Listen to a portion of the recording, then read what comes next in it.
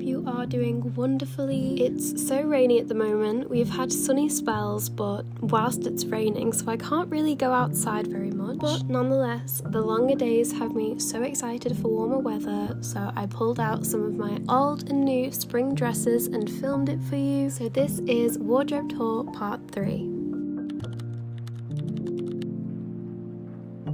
Starting off strong with House of CB. If you haven't seen their new collection, please go and look because it is the most beautiful thing I've ever seen. This is the Rosalee dress in the print Pink Peony. This print is just everything. It has a very vintage feel to it as it's kind of faded, which I love. And the actual style of dress itself is so flattering. I didn't get a clip of it, but it also has a lace trim underneath, which is such a gorgeous detail. This House of CB dress is an older design which I'm sure you have seen all over Pinterest before, but it is a classic. This is the Alicia in lemon floral print and it is one of my spring summer go-tos. Back to the new House of CB spring collection. This is the Sancia in white posy print. When House of CB released sneak peeks of the new spring collection, this was the dress I knew I had to have. If a dress style could be described as angelic, this would be it. When I saw this dress on Selkie's website, I was enthralled immediately. This is the Blush Caribbean dress, and you can wear it on its own or with the Ivory Theatre petticoat. With the petticoat, this could literally be a wedding dress. It's so pretty. Another magical fairy dress. This is literally called the fairy dress by Selkie, and this is the confection colorway. It's so pretty, so dainty. I do feel like a little garden fairy when I wear it. I am on the hunt for some pretty lacy bloomers to wear with it because at the moment I just wear a pair of white shorts underneath, which works, but I feel like a pair of ruffle lace bloomers would complete the look and keep it dainty and fairyish. It seems that there is a common theme in this video of fairy dresses. This is the Sweet Pea dress from JessaKae. Again, it's another one that makes me feel like a spring garden fairy. This shade of pink is so gorgeous and I'm so obsessed with the 3D flowers. And the shoulder straps are bows too, which is so cute. I love that these are adjustable so you can have the dress as high or low as you like. This may be one of the most flattering, beautiful dress silhouettes I have ever seen. This is the Mia dress from JessaKae in pink. They initially released this in a champagne colour, which I fell in love with, but unfortunately, when it came to it, they did not have my size. But then they released a little sneak preview of a new collection this year, and I saw the Mia dress in pink and I screamed. And you know your love for a dress is real when you get it in another colour too. As you all know, I am of course a pink lover, but I also have such a soft spot for a light blue. Some of my favourite flowers are forget-me-nots, and this shade really reminds me of them. And both the blue and pink together remind me of Aurora and Cinderella or Barbie, Princess and the Pauper.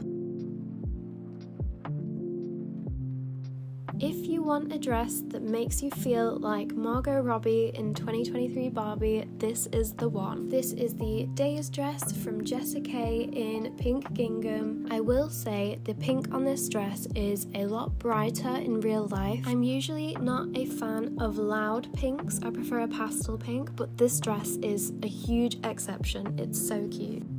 This may well be my dress of the spring and summer of 2024. I'm obsessed. This is the Grace Boulevard dress from Maison Amory in the print Castle Rose. It is the perfect cottagecore dress. I love how much you can twirl in it. And again, I love that the print is slightly faded, which gives it more of a vintage style. They recently released the same style of dress in a different pink print, which I also adore. I got this dress in the autumn last year and I've been counting down the days until I can take it to the field and have a big photo shoot with it. This is the Romance Maxi from C. It is a gorgeous cream floaty gown with pink flowers on. You know I absolutely love my gowns, but sometimes gowns can be a little bit bottom heavy, which makes them less comfortable to wear. This one, however, is so lightweight and so comfortable. I would wear it everywhere if that was socially accepted. Clearly I decided to have a nail break, so these are my spring nails. And this is the Tinkerbell Fluffy dress in the colourway powder from Flainer, which is the most perfect name for this dress. I am a simple woman. If I see a pink gingham dress, I have to have it. This is the Strawberry Goddess gown from Miss Candyholic. They do so many goddess gown variations, and I am quite honestly obsessed with all of them. I think this one is so cute for spring and summer because it has little daisies on the shoulder, and like I said earlier, you know the love for a dress is so real when you have it in more than one colorway. This is the Lemon Goddess gown, and I love this colorway because the daisies match up perfectly with the color of the dress, and it's all just so pretty. Both of these are just so perfect for warm days when you want to be comfortable but still look cute. I love Amy Jane London's tiered dresses so much. They are so soft and so pretty to look at. This is the Evangeline Maxi. I can kind of imagine wearing this on holiday, going for an evening meal, taking a walk along the beach. This is the Kitty Maxi from Amy Jane London, and every time I see it, I think of Lottie from Princess and the Frog. It is such a beautiful, extravagant princess dress. The volume of this tiered skirt is the kind that makes me want to frolic through some flowers whilst it trails behind me. But for now, you'll just have to imagine that content because the weather is terrible.